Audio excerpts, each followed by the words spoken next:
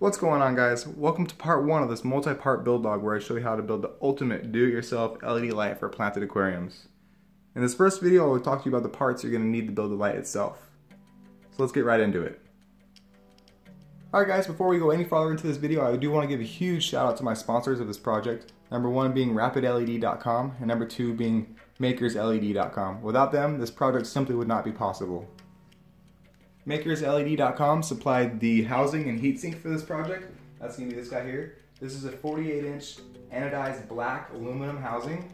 Um, it has uh, channels on the back for mounting fans and uh, hanging equipment from the ceiling. And in the middle here where the LEDs themselves go, there's channels where the LEDs slide into the channel for easy, easy mounting.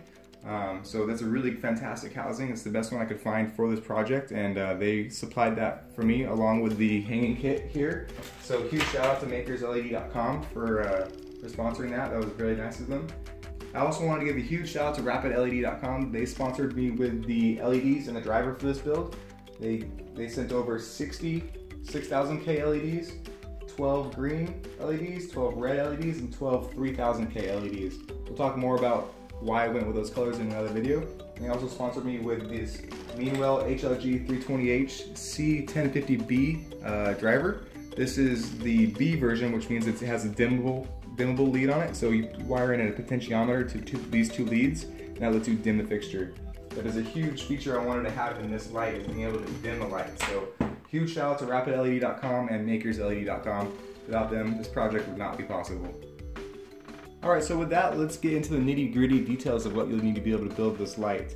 Um, number one, starting with an extension cord. So I went to Home Depot and found a uh, three-prong extension cord. This is this happens to be an eight-foot extension cord. It was like six dollars for this one. The reason why you need this extension cord is actually to cut the end off and splice the driver into this extension cord so it plugs into the wall. So that's really the only reason why you need this extension cord is for the plug. Uh, from there, I actually got this this um, cable. This is four 14 cables. There's four 14 gauge wires in here. This is to go from these two leads here up into the fixture itself. So two leads are for the positive and negative for the LEDs and the other two leads are for the potentiometer like I spoke about earlier. So the potentiometer is going to be on the fixture itself so I'll be able to dim the fixture standing up while looking at the tank. Um, I could have done just a potentiometer here and have this be in the um, stand but I want to be able to, to see the tank while I dim it so it'll help dial it in more easily.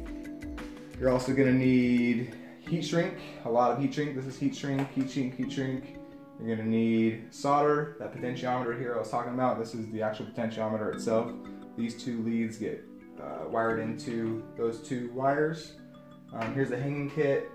Uh, you're gonna need a soldering iron, soldering gun, a multimeter. You're gonna need thermal compound. This is 16 gauge wire. This wire is actually to wire the individual LEDs to each other. Uh, I'm, I'm, wiring this in series, so we'll talk more about why I did that in a later video, but so this is the actual wire that I'm going to be using to wire the LEDs to each other. Um, we also need zip ties, we need a wire stripper, wire cutters. Um, this I don't think I'm going to need fans for this build, but I went ahead and got them anyway because it's better to have them and have them and not need them and need them and not have them, so I went with them. These are Antec True Quiet fans. These ones are really cool because they have a dual fan mode in here, high and low, so I can uh, run them really quiet. These ones also have rubber feet on them, so um, it, it, it, isolates it from the fixture itself to reduce any kind of vibrations and noise. So I really like these fans. They also happen to be black, so it just worked out really well for that. And I have a 12 volt, 12 volt power supply, just an old cell phone charger, I think that's going to be used to power those fans. So uh, I think that kind of wraps up this video. Um, like I said, this is just part one of a multi-part series. I'm not sure how many videos it's going to be yet. Uh, we'll find out more. But I just want to lay, give you a layout of what I need and what you would need to build a light like this yourself. So if you have any questions, comments, concerns, let me know in the comment section below. I look forward to hearing back from you. Alright guys, thanks so much for watching and I'll see you in the next one.